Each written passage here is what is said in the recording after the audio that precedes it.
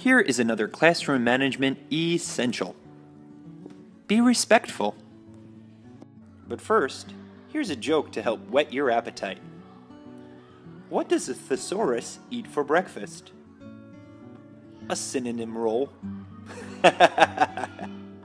it seems simple, right? The way we respond will determine how our students react. And there are really only two ways of dealing with students who aren't behaving as we want them to fairly and unfairly. Not surprisingly, it doesn't matter what our idea of fair is, it is what the students think that counts. We all know what our definition of unfair is, but students can often see many other things as unfair. Embarrassing them, picking on them, scolding them, and shouting at them will all be considered unfair, and obviously will result in stress, arguments, and even tantrums. In some cases, a student will feel equally persecuted just by the way we speak to them or even just the way we're looking at them. As we all know, body language and facial expressions play a huge part in communication. And on more than one occasion, I've witnessed a student launching into a physical assault on a member of the staff for nothing more than a raised eyebrow, yelling, I fucking hate you. I hate the way you look at me. Now, you may want to try to fix all of these triggers. Good luck with that. But I think you'll have a lot more success in navigating around these triggers, in figuring out what might set a student off, and then trying to avoid that behavior.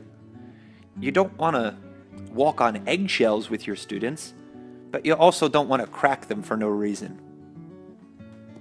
Like an eggshell, your students' minds and psyches are fragile, whereas you're an adult, hopefully a mature adult, and you have much more control over your body and your mind and your emotions. And you should try to keep as level ahead as possible during your interactions. The odd thing about students is that young people are experts at reading our inner feelings, but they have little control over their own emotions.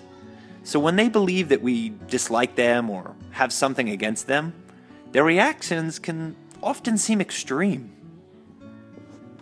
The problem with one can escalate very quickly. When a whole group of students feel we are being confrontational or unfair, the problem suddenly becomes 30 or 35 times worse. The following are a few ways that I express my respect to my students. If we minimize or eliminate the opportunities and excuses students have to argue with us, it makes classroom life much easier on everybody. And we can do this by treating students with respect, firmly but fairly.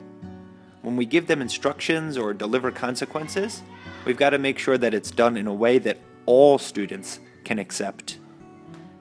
Giving clear, concise directions means that your instructions can't be misinterpreted. And you might want to use the analogy of giving students clear tracks to follow, like a railroad car. When I ask them to do something in this way, there is much more of a chance that I will get them where I want them to go, or have them doing what I want them to be doing. And it also decreases the chance of an argument. It's simply a case of succinctly explaining to students exactly and specifically what you want them to do. Here's an example of how I might narrate my instructions. Instead of yelling at a student, Tim, stop it! I'd simply ask, Tim, please stop tapping your pen on the desk and put it down. Or, Sally, please move your legs under your desk and put your feet on the floor.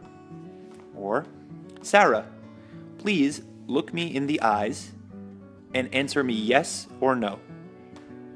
These are small, simple changes that narrate the type of behavior that you want to see. Asking students to confirm that they've heard you, that they understand you, and that they know what to do next is really helpful in preventing the dreaded, I didn't understand, or I didn't hear you, or even, I didn't know you were talking to me.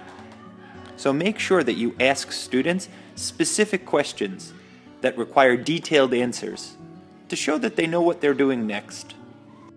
You also may want to consider swapping please for thank you. Giving a direct instruction and following it with a thank you implies that you expect the student to do as you say.